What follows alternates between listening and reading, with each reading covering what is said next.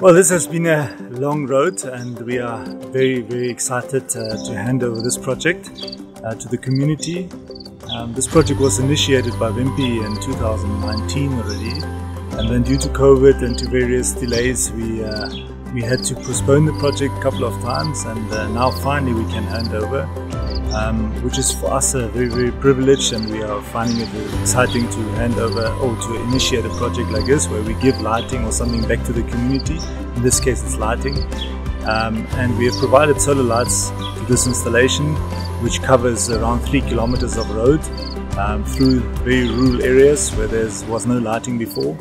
Um, and we believe that this is going to create safety and, uh, of course, a sort of a quality of living to the people here beyond sunset, which they didn't have before.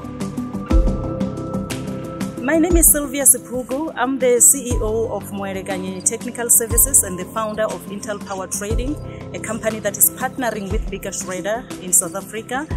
I just want to appreciate uh, BEKA Schréder uh, for this particular project um, that has made history in our country, in our province, rural community development with BEKA Schréder. But here I am today, my young generation, they are seeing the light right in their rural because of the possibility that was made by BEKA Schréder. I want to thank uh, King Baudouin Foundation. I want to thank the Schroeder family. I want to thank the leadership of Daniel Kasper and his team. Uh, they've dedicated their time to come and be with us today to celebrate with us as we hand over the project to the community of Tshinapfene village with our kingship, His Majesty King uh, Kennedy Midiavhathu Tshivhase and uh, our other chief is working with us who is number one supporter of BEKA Schréder, uh, Kosimwele Tshivhase. I'm very much excited. We are celebrating. The weather was good. Everything was perfect.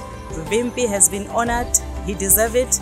And we want to say transformation that brings the real change is what we need in South Africa. We need companies like BEKA. We need companies and leadership like from BEKA who will say rural communities is where all leaders were born. I thank you. I think that this is a really partnership with the with the community.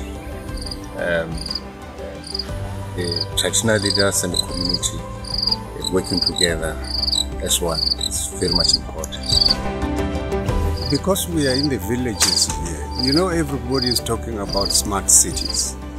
And uh, we also here are now talking smart villages.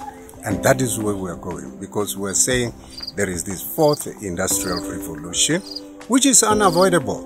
And therefore, our people must be here and uh, move with the time and make sure that everything is, uh, is perfect. You see, like Masindi here, she has been very happy uh, with the project.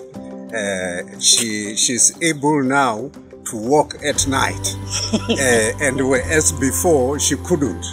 Now she walks at night because there is always light. Hmm? She is uh, a citizen here in the village for many many years.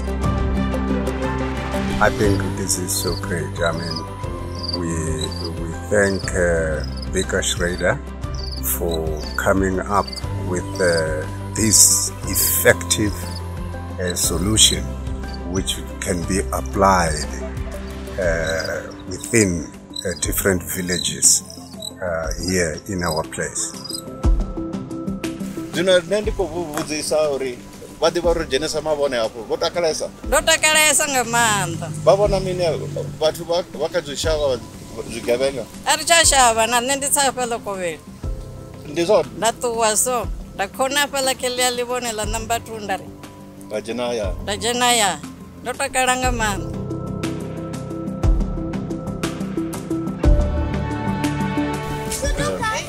Ya vhusiku vhathu hanefha vho takala vha ri mini nga mavhone? Okay ana khou amba hafha ndi netsiando tabela eh, chairperson kha youth ya phamishina pfene eh, mafhungo a eno a project ya mavhone sa community vhathu vho takala nga maanḓa u vhona development ine khotsi yashu vho mielekani na vho maile u sumba ye vha ri itela yone nga mulandu wa uri i tou vha saini ya u sumbedza uri kha ri bve swiswini ri etshedzane zwi khou ri funza riṋe sa vhaswa ri tea u tshila rather than u tshila Thanks to the Schréder Foundation, we were able to uh, fund this project. Um, and of course, uh, we are hoping that, of course, with uh, future projects like this, we can even create a bigger impact to the community. Um, and of course, the idea is to expand on several similar projects uh, around South Africa because we have very, very uh, many communities like this who are having the same uh, situation and have, facing the same challenges. Um, so we believe that this is just a, a first step of many steps to come.